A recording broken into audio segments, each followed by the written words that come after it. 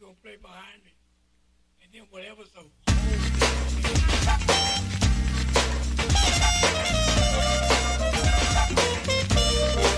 Back in the.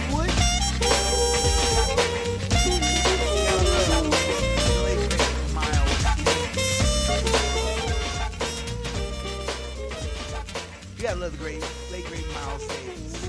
Doesn't seem like 27 years.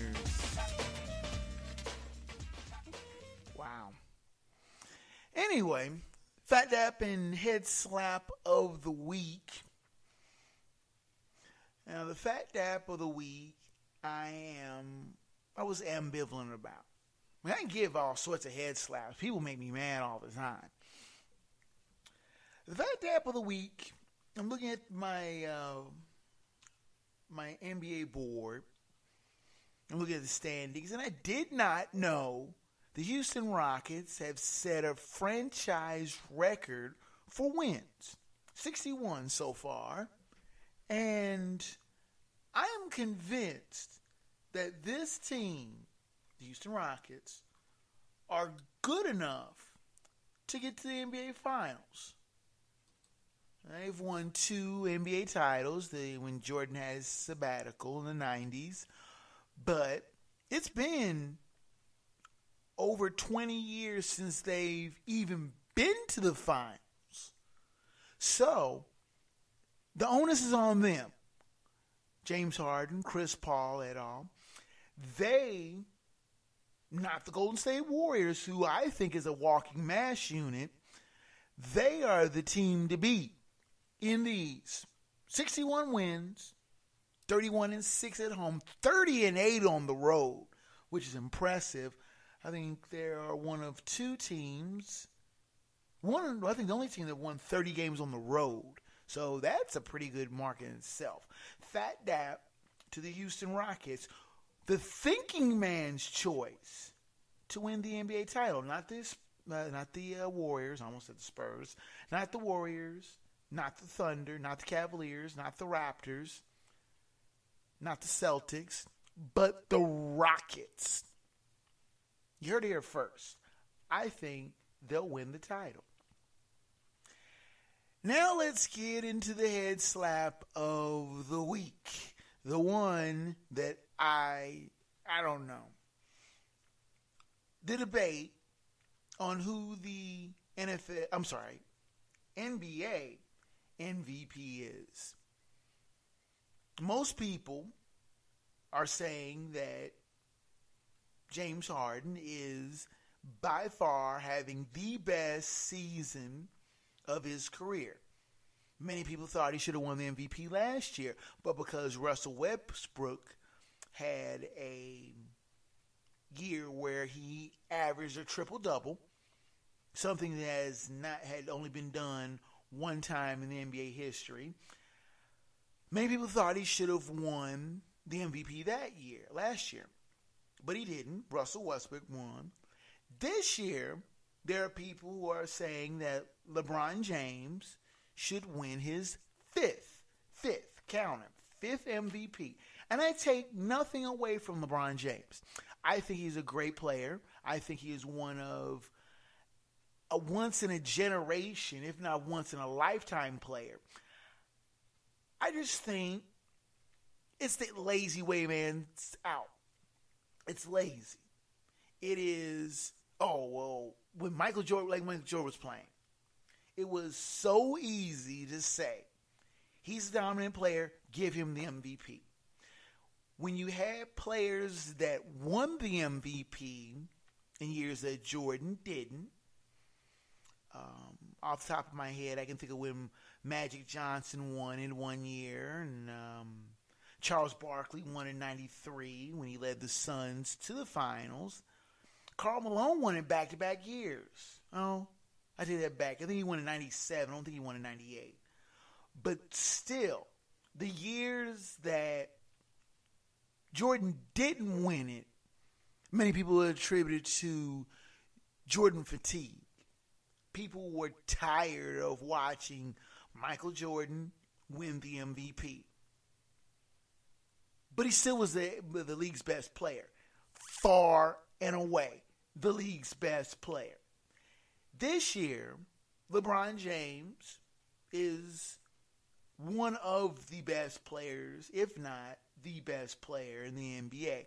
Far and away, I don't know. Top 10, top 5, top 3. Yes. But James Harden, I think, is having a transcendent year. James Harden is having the type of year that will garner a crazy contract. James Harden is carrying the Houston Rockets, a team that I've already said, gone on record saying is the front runner for winning the NBA title. They've won 61 games. And you only have uh, the four, I believe, three. No, I take that back. I only have the Warriors who have 54 wins. So you have in the NBA three teams right now that have crossed the 50 win uh, threshold. The Rockets are at 61. And you're telling me it's not the best player on the best team. James Harden should be the MVP. And I rail at the talking heads. And that's right, Stephen A. Smith, I'm talking to you. You dare say that James Harden does not deserve the MVP? And don't get me wrong, I'm an Ohio guy. I love LeBron James. I think he's a great player. But this year, and this year alone, he doesn't deserve the MVP. Yes, the Cavaliers would be trash were it not for LeBron James. That, te- that player is keeping that team afloat. Period. But he's not going to carry them to the title. He might not even carry them to the conference finals. James Harden will lead the Rockets to the title. And for that, I give the media that is not giving James Harden his proper due the head slap of the week. We'll be back for final thought in just a moment.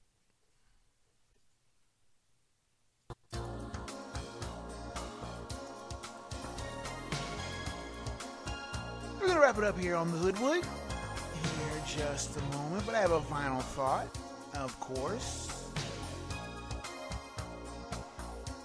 And that's the, the one thing I'm doing. Usually I just wrap it up with a fat jack and head slap. But we're going to go with a uh, final thought.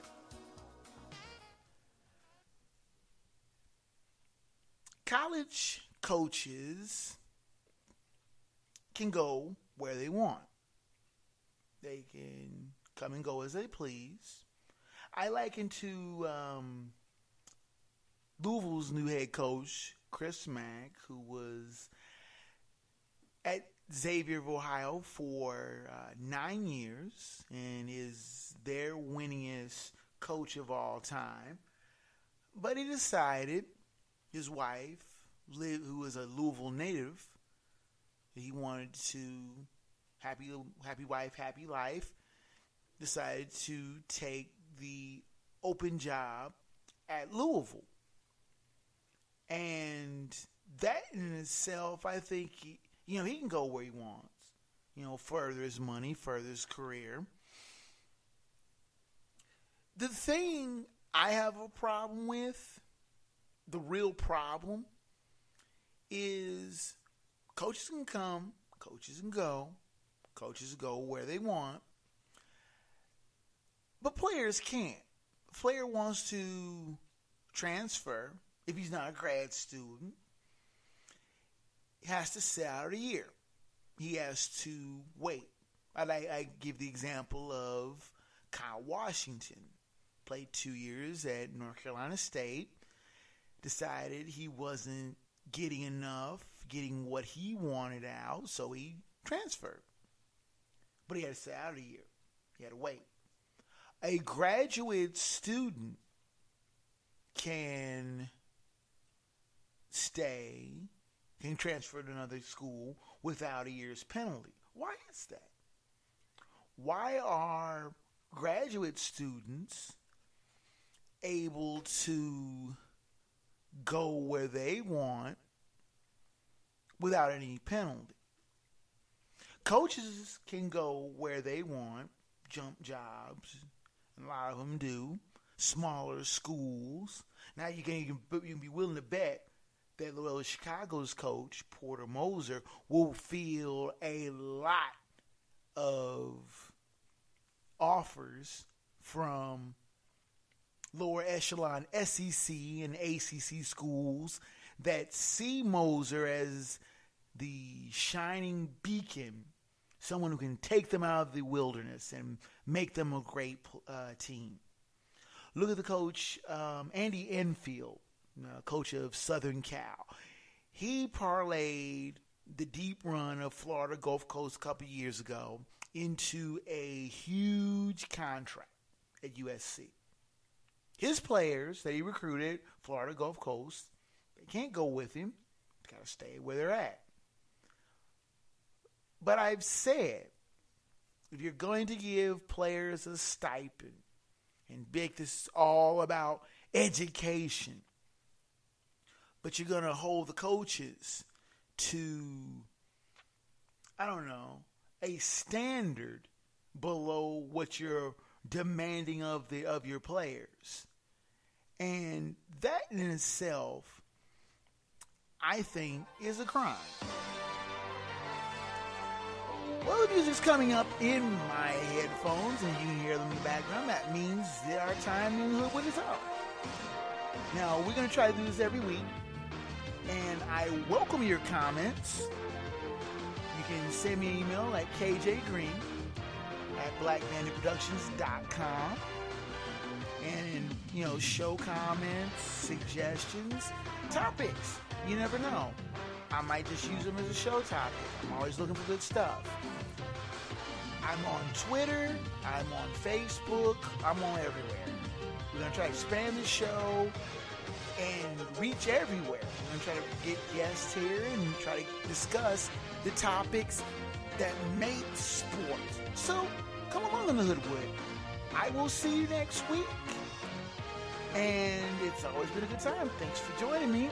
Until next time, fellow sports fans.